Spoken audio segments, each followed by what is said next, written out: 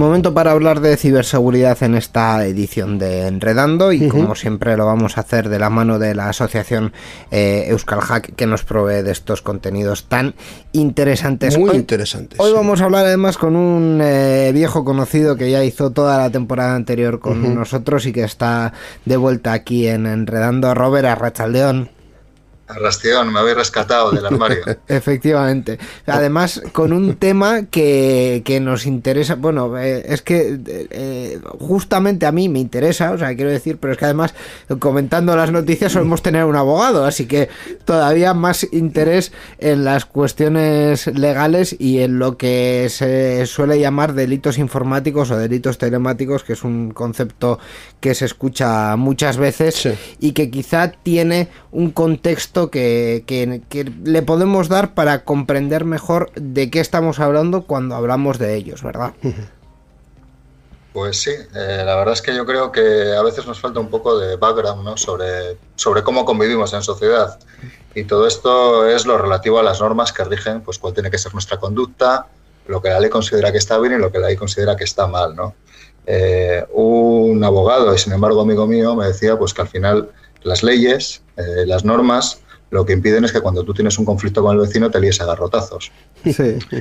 Entonces, claro, eh, hoy vamos a hablar concretamente de qué es lo que podemos hacer eh, cuando tenemos un problema en Internet como usuarios y de a qué normas o de qué mecanismos tenemos para arreglarlo todo sin recurrir a esos garrotazos que decía antes. Además que se da la circunstancia de que en Internet pues a veces es muy complicado saber dónde y a quién hay que pagar un garrotazo cuando tienes un problema.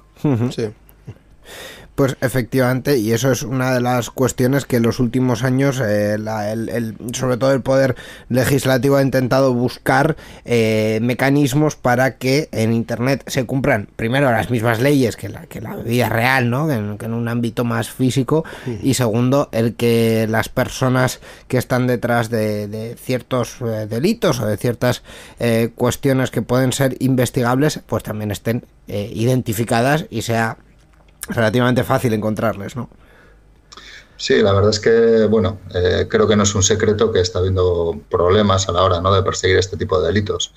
Pero antes incluso de hablar concretamente de delitos, por aterrizar un poco el tema, eh, voy a hablar de unas pequeñas cuestiones. No todo lo que nos sucede, que percibimos como malo en Internet, es un delito. Hay otras normas a las que podemos acudir. Por ejemplo, eh, tenemos una norma muy potente en Europa que es el Reglamento de Protección de Datos, eh, la Ley Orgánica de Protección de Datos y de Garantías Digitales o Derechos Digitales, eh, que afecta a todos aquellos eh, casos en los que nosotros consideramos que nuestros datos pues, se han publicado sin permiso, incluso una foto se ha publicado sin permiso, y no es un delito, es una ley eh, que decimos administrativa. Y sin embargo, soluciona y pega muy buenos sartenazos pues, cuando tenemos un problema de este tipo. Existen otro tipo de normas que no son ni siquiera hechas por el Poder Legislativo.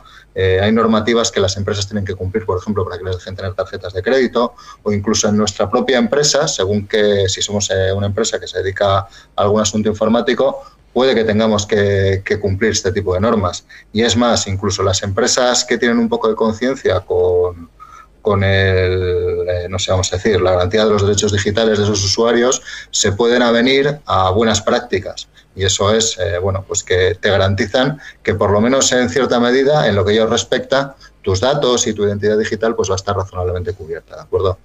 Ahora bien, ya entrando eh, en lo que sí que son delitos, bueno, de nuevo, de nuevo parafraseando a mi amigo abogado, al final cuando tú tienes un conflicto con una persona en nuestra sociedad, los delitos, lo que afecta al Código Penal, eh, son aquellos comportamientos en los que tú te ves más perjudicado o más graves, ¿de acuerdo? Entonces, normalmente lo que tienen este tipo de comportamientos es que llevan aparejado pues una pena de libertad o, bueno, según qué tipo de, de sanciones, vamos a decir, las que el legislador y las que cuando nos montamos las normas para convivir se consideran más graves.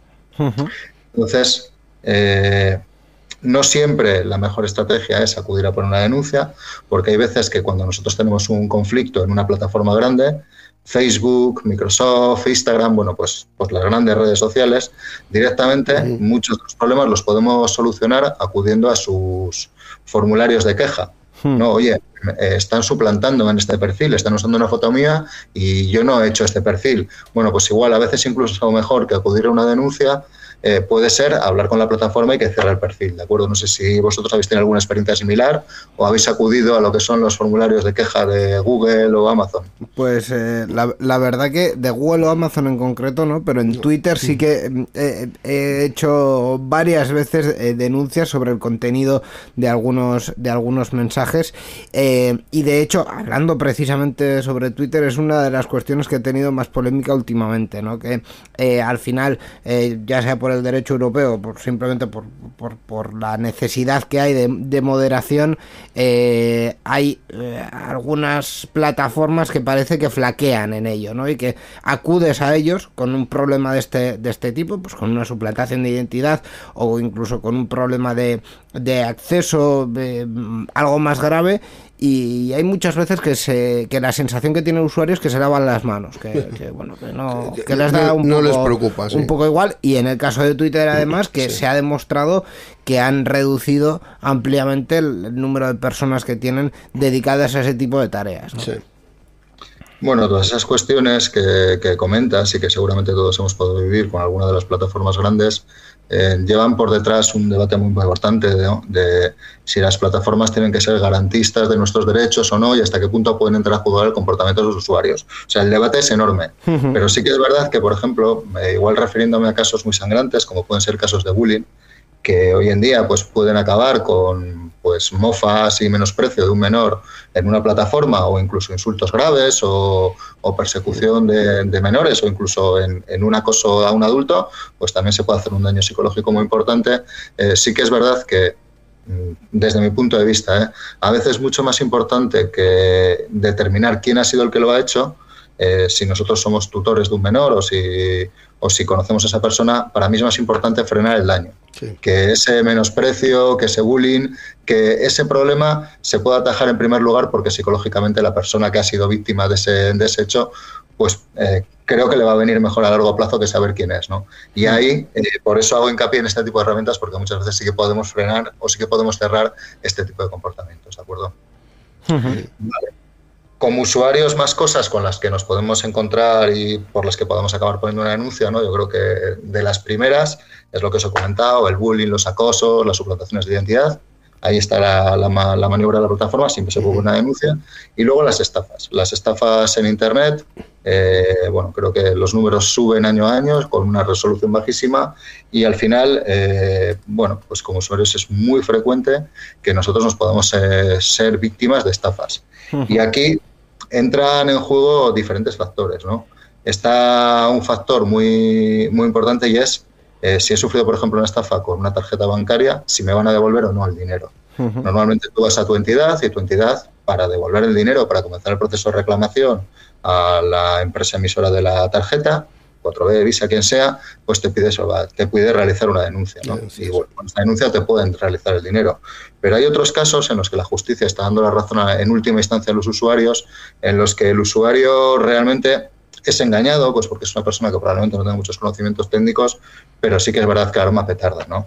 Eh, caso, por ejemplo, muy sangrante, yo creo que hemos hablado de aquí en algún podcast, la aplicación famosa que se hacía pasar por, por DHL, que tenías un paquete, que entraba en tu, en tu teléfono y que hacía un montón de operaciones bancarias eh, a tu costa sin que tú te enterases.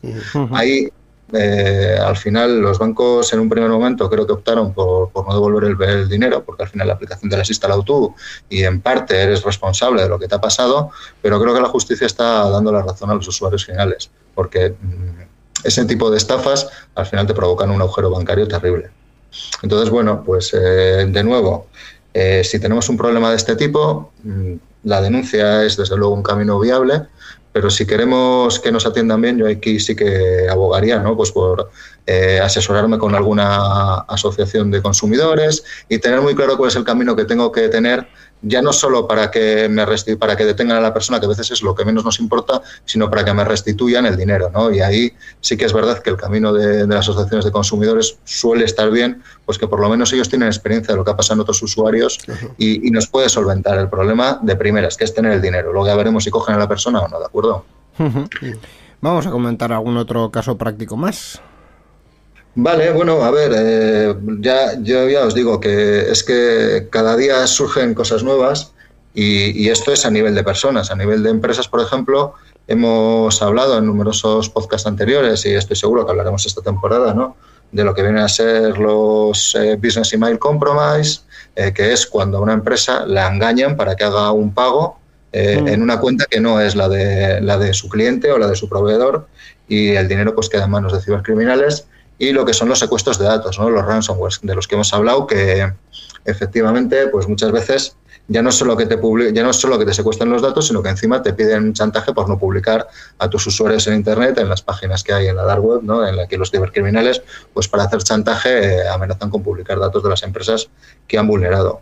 Aquí la cosa es diferente, porque ya estamos hablando de empresas y en principio esto tiene bastante mal arreglo. Si somos víctimas de, una de estas suplantaciones de identidad con un pago, eh, la denuncia es importante de nuevo, pero también es muy importante ir al banco e intentar que paren la transferencia cuanto antes, que bloqueen ese dinero.